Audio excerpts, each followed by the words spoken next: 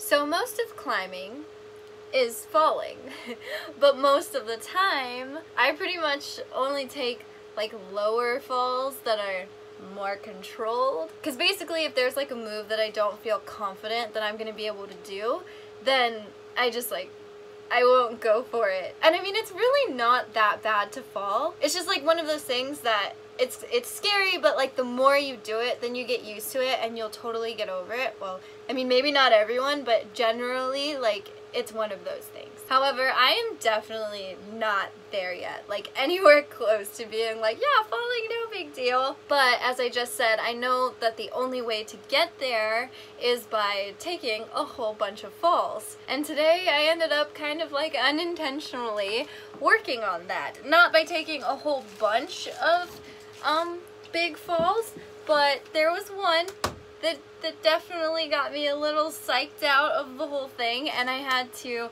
really, really work through the mental aspects of climbing to be able to um, just like get through it. So after warming up, I started trying this one purple, and as far as grades go, or like the difficulty level, it's a V5 at this gym. And I say that because every gym is a bit different, and then outside versus inside, that's pretty different sometimes too.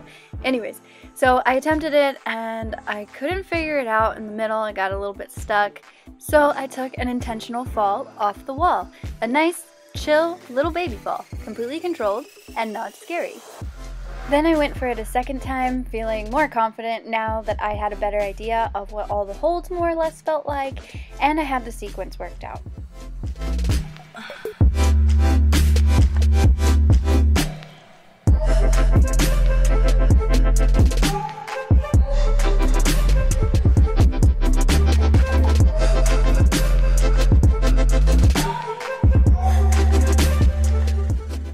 Had a quick banana conversation, and shortly after that, I saw a pink problem that caught my eye. Here it is. Oh, Gorgeous. Look at that.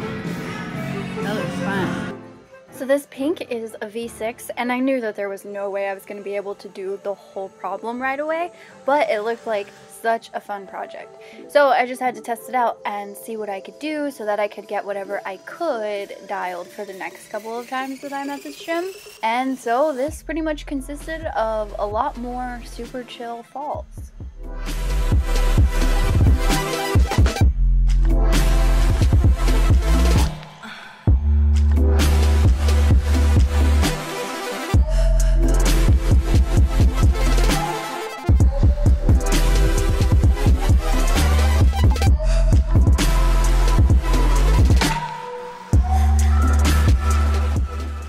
Eventually I had to stop trying it because the star hold was totally eating my arm.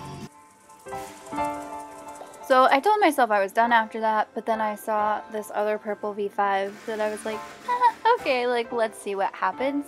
Um, I ended up almost flashing it, despite right here in the middle where I got stuck for a good minute because I didn't see that there was um, a hold outright. So once I realized that, it was all good until I got to the last move.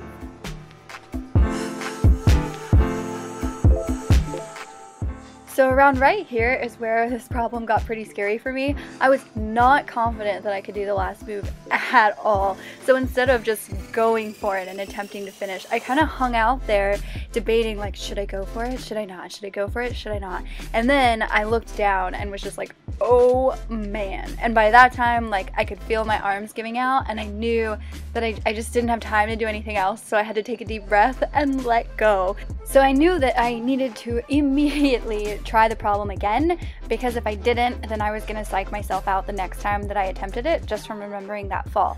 Because it was like the problem itself wasn't hard. It was just that like that commitment required for the last move. And yeah, sure enough, I hopped back on and the fear had already started trying to take over my mind. So I got back on for a third attempt and the same thing happened. My heart started beating really, really fast, and I could just feel my whole body being like, nope, no, no, no, this is not happening today.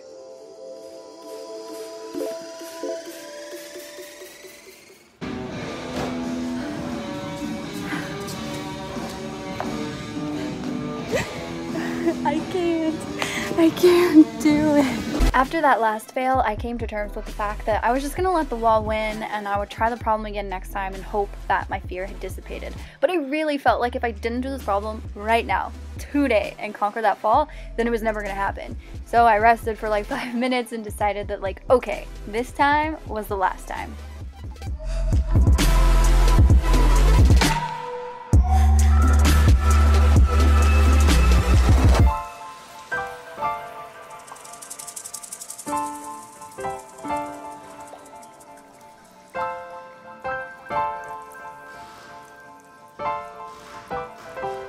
And yes, when that happened, I was so excited. Because, like, even at the end, I totally hesitated for a little bit and I just had to, like, tell myself over and over again, like, the hold is good, the hold is good. Like, just stand up, dude. Just stand up. It's gonna be okay. And honestly, when I went for it, I was 100% prepared to fall again. So, like, when I went for it and I stuck it, at the end, I just kind of hung out there for a little bit because I was just like, wow, I am really surprised that this just happened and it just felt so good. And it's just super awesome when you get these like these little wins in your climbing, at least for me, because it's like I feel like I've almost like hit a plateau in a way that like it's not that I can't do certain things, it's more of like the mental game that like I'm scared to do certain things and I could progress so much further if I would just let go of those fears. So I don't know, that climb in particular, like that move, like succeeding and doing that was just kind of like a personal like milestone for me. Because like I said the problem itself wasn't super difficult. It was just